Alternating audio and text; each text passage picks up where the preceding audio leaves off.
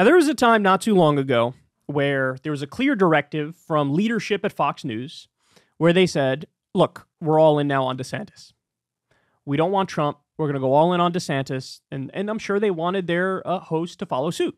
They wanted them to toe the line, if you will. But if you'll notice, they never really fully broke up with Trump. And you always had a diversity of opinion on Fox News where hosts were different degrees of pro Trump or mildly anti Trump, ranging from mildly anti Trump to colossally pro Trump. Well, now, um, look, the polls are showing what looks like the inevitable, bar any uh, outside circumstances like being behind bars. It looks like Trump will cruise to certainly the Republican nomination. And so now you see a total about face, a total reversal, where any of the flirting with the likes of DeSantis is gone. You still have some who are trying to like prop up Nikki Haley, but they're trying to make their peace with Trump. And by the way, Trump has now leaned into attacking Fox News on a regular basis because he wants total loyalty. He wants nothing but sycophants. He wants Fox News to be like Newsmax and One American News Network and almost be like comical North Korea level propaganda talking about the dear leader. Well, they decided we're going to uh, go right back to Fox News original and do a Trump ball coddling fest. Let's watch. well, that's so funny because you think that will tear the nation apart. Meanwhile, politics is tearing the nation apart. Um, and in many ways, the Republican Party um, has a lot of deep divisions, uh, particularly among the donor class and the rest of the, the, the Republican Party. That's true. The Koch brothers decided, well, now it's a Koch brother. I think one of them died. Uh, they decided, we're going to back Nikki Haley. We're going to go all in on Haley. By the way, good luck with that. like, it reminds me of 2016. We're going to go with Bush, Jeb, Jeb Bush. We're going to go with Marco Rubio. We're going to go with uh, John Kasich. We're going to go with Ted Cruz. It's like, that didn't work. You guys didn't have one clear opponent to Trump and prop that one person up. You already were with DeSantis for a while. Now you're flipping Nikki Haley. Too little, too late, too little, too late. But anyway, she's right about that. The donor class wants Haley. Uh, the Republican base obviously wants Trump. Well, the Democrats do too. They just they sure do. squelched down with Team Joe and so Team true. Obama. We'll see how that plays out. So yesterday, uh, Donald Trump was in Iowa. So was Ron DeSantis. And here's a clip of Donald Trump talking about Joe Biden being really the destroyer of democracy. Listen. Uh. Since crooked Joe Biden got in, he has been weaponizing government against his political opponents like a third world communist tyrant, really no different. But crooked Joe Biden's banana republic ends on November 5th, 2024. It's a banana republic. Biden and his radical left allies like to pose as defenders of democracy. But Joe Biden is not the defender of American democracy. Joe Biden is the destroyer of American democracy. So, first of all, let's be clear. What he's really saying is, Wah, there's 91 criminal charges against me. Wah, stop the charges now. Stop, stop. That's what he's actually saying. That's what he's really concerned about. But, of course, this isn't just Joe Biden. It's it's uh, the independent uh, investigator and prosecutor Jack Smith who's doing this. It's it's Fani Willis in uh, in Georgia that's doing it. It's it like this is people trying to uphold the law because you broke it. That's what it is. Okay, so let's be clear about what he means and how wrong he is. But let's also be clear. He talks about how Joe Biden Joe Biden is destroying democracy, right? And normally my commentary would be to come out here and be like, that's absurd. But we just got news that the Florida Democrats canceled the Democratic primary. They said no Dean Phillips, no Marianne Williamson, no Cenk Uygur. Sorry, we're going to retroactively move the date for registration back. And you guys missed the deadline, so now none of you can be on the ballot. That is authoritarian. That is anti democracy. But let's see what Fox says. It's him and his people. They're the wreckers of the American dream. The American dream is dead with them in office. It's uh, sad. Over the past few years, you've watched Biden and his band of Marxists, communists, fascists try to crush free speech, censor their critics, criminalize dissent. Again, censor their critics. Tell me again what Elon Musk did the other day. Oh, that's right. He said, I'm going to ban the words decolonize on Twitter as well as from the river to the sea. Anything to say on that, Trump? Are you against that? No, you're actually for that. Thank you very much. And by the way, this guy tried to ban flag burning and punish it with a year in jail. He's not pro free speech. It's ridiculous. Well, I love that he brought that up about the attorney client privilege. Um, the uh, Democrats, these lawyers, um, these prosecutors are going after Donald Trump's attorneys as well as him. So that's an interesting point he brings up. Okay, the attorney client privilege thing. What happened was Trump's own lawyers are flipping on him. They're flipping on him. That's got nothing to do with Joe Biden. That's got to do with the lawyer saying, I want to keep my ass out of prison because I was a collaborator with the fraudulent elector scheme, the fake elector scheme. So I'm gonna I'm gonna start chirping. I'm gonna start talking. I'm gonna I'm gonna mention how this guy was the head of the snake. He was calling the shots for real, which is not surprising. He's the former president. Of course he was calling the shots. I love that he is just naming it out, calling them communists and fascists. Let's just have a really blunt, honest conversation about what are the choices in this election. I, I hate I hate so much. Okay, people who follow politics but not all that closely and have never really educated themselves on definitions or labels, this is something they do.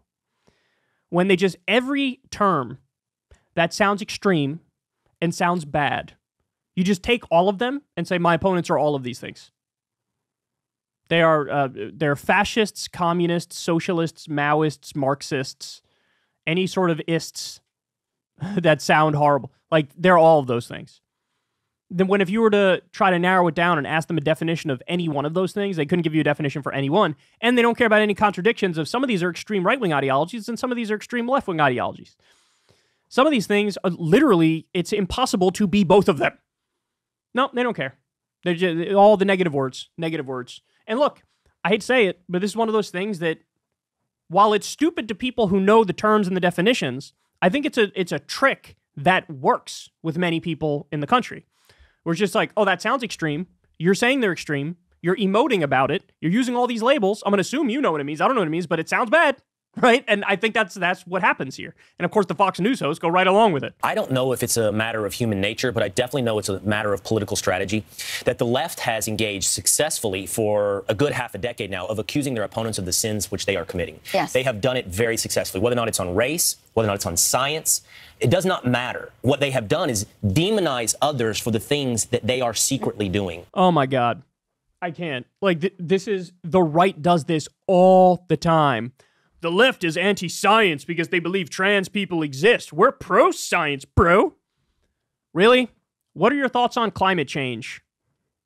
What are your thoughts on evolution and creationism or intelligent design? Please, what are your thoughts on vaccines? Please tell me, enlighten me what your thoughts are. Yes, okay, look, I will grant you psychological projection happens on all sides of the political spectrum. I don't think there's any doubt about that. But in terms of who does more of it, please, please. My favorite is that Trump is always at law and order. I'm the law and order candidate. Homie, you're up on 91 criminal charges and you were just found liable of fraud. You're going to lose your business license in New York. You might pay a fine up to $250 million. What are you talking about? That's the biggest case of projection I've ever seen in my life. Revealed to itself as well through this lens of you're a threat to democracy. Trump does a very good job there of laying out the ways in which Democrats have threatened democracy by going after their political opponents, and not just their political opponents. Or you actually committed crimes, and so they're trying to uphold the law. And by the way, it's not just Democrats, it's prosecutors, and there's different ideologies among the prosecutors, I'm sure. This is so bogus. This is as bogus as it gets. What he wants is to be able to commit crimes and then get away with it. If he commits crimes and you try to stop him from doing the crimes or have there be consequences, he acts like you're a threat to democracy. The people who support their political opponents. The assault on free speech has been one of the biggest in my lifetime. Thoughts on all the anti BDS laws, sir? In all the conservative states. Oh, I think it's 27 states where there's anti BDS laws. If you say I want to, I want to uh, boycott Israel, they, they can take away government subsidies from you. Thoughts on that? That's actually anti free speech in terms of against the First Amendment. And we know because there's a court that upheld it. Our friend Abby Martin went to court over one of these things and won. And then it, I think it's going up to a higher level. It'll be appealed. Who knows what the final conclusion is going to be? But these are clearly, clearly anti First Amendment moves. So tell me again about, uh, you know, your commitment to free speech and how the left is against it. Okay. So the threat to democracy thing. Look, I saved the final, the most important point for last here. They're agreeing with Trump and coddling his ball sack. But oh yes, Biden, big threat to democracy, big threat to. Now, by the way, I explained to you, I do actually think he's a threat to democracy. If you guys cancel the Florida Democratic primary, that's anti-democracy. That's authoritarian. There's no ifs ands or buts about it. They're trying to keep all of his challengers off the ballot by any means necessary. They're uh, directly getting involved in the individual states and trying to apply pressure to force them. Hey, don't allow Marianne Williamson to come here and give a speech at this college. Don't give her the the voter data. They tried to change the um, the first state right, to make it South Carolina because Biden has a big advantage in South Carolina. He won by a lot there last time. They want that to go first. That you know they end this thing early. So I see, oh, you got to step aside. You won by so much in South Carolina. There's no legitimate challenger to him, et cetera, et cetera, et cetera. All that's true. So in a sense, Biden is a threat to democracy without a doubt, and he's also a threat in the sense that he's down more to Trump than anybody else. So you're eh, effectively almost handing it over to the Republicans, who are a bigger threat to, to democracy. But that's the main point. The main point is they're agreeing with him that Biden's a threat to democracy. This is the guy who just tried to overturn the last election. They did the fake elector scheme, they did the fraudulent elector scheme. They're in court over it right now. The facts of that case are damning. The internal communications are damning. They were very clear. Yes, this is illegal. We know what we're doing is illegal. We're going to move forward with it anyway. They were this close to declaring martial law, to seizing the voting machines. Like, he tried to get Mike Pence to overthrow the results and declare that Trump gets to stay in there. There has never been a bigger threat to democracy. This guy is against the peaceful transition of power. There's no ifs, ands, or buts about it. But he goes out there and attacks the Democrats as being a threat to democracy, and Fox News coddles his ball sack and moves right along with it. By the way, again, you want to talk about a threat to democracy? Why is it not a threat to democracy for the leading candidate in a primary to decide, I'm not going to debate? One of the few checks we have left in our decrepit, corrupt system is that at least we had a tradition of every time there's a primary, there are debates, and every time there's a general, there are debates, and you get to see the candidate, you get to hear the candidate, they get to explain their positions, they have to, you know, present themselves to the American people in a way that's acceptable to the American people. And Biden skipping the debates, Trump skipping the debates. There's a question now there might not even be general election debates. Why is that not also a threat to democracy? I just I can't.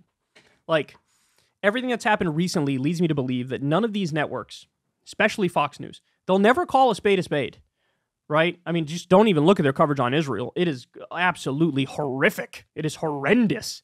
It is cheerleading genocide and ethnic cleansing. But here you have a guy who tried to overthrow democracy, and they're saying, oh, yeah, he's the protector of democracy. Thank you for your contribution, Fox. Real good stuff. Hey, y'all, do me a favor and like and subscribe. It helps out big time in the algorithm. Click the bell as well for notifications when videos drop, and watch that video on screen right now. You know you want to.